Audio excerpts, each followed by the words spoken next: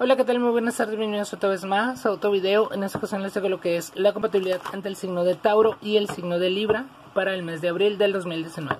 Vamos a ver qué tipo de relación pueden llegar a tener ustedes dos y eh, cómo van a estar su energía en este mes. Ok, bueno, aquí veo que eh, si ustedes dos son pareja pueden estar pasando por una injusticia ya sea que a una tercera persona se meta, tengan problemas que no sepan manejar o eh, incluso un divorcio, ¿ok?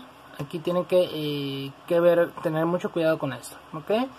Eh, van a estar enfocándose mucho en los problemas cuando hay soluciones a la vista, pero como que no lo quieren ver. Aquí está habiendo una injusticia, un desbalance, en su relación, ¿ok? Están como más enfocados, como les dije, en los problemas en lugar de estar disfrutando de las cosas bonitas. Si ustedes dos están conociendo, primero dejen las cuestiones del pasado atrás para que puedan tener una relación en balance, una relación recíproca, que es lo que hace la justicia, y eh, puedan enfocarse en ustedes dos, ¿ok? Entonces, si se están conociendo, si quieren una pareja, si quieren incluso ser socios, tienen que dejar las cuestiones del pasado atrás para que eh, puedan estar eh, juntos, para que puedan empezar a conocerse, para que puedan estar, eh, como les digo, en balance y todo pueda salir mejor, ¿ok?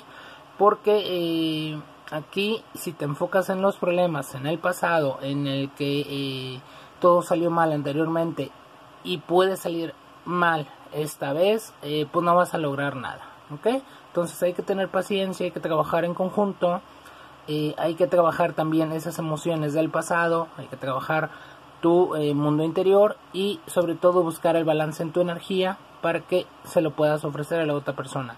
Independientemente si es eh, relación de trabajo, por las cuestiones de las inversiones, hay que dejar el pasado atrás, como ya te dije, o en cuestiones románticas o amistad. ¿Ok? Hasta aquí el video. Espero te haya gustado. Si te ha gustado, dale like, comparte, suscríbete. Y nos vemos en el siguiente video. Muchas bendiciones y hasta luego.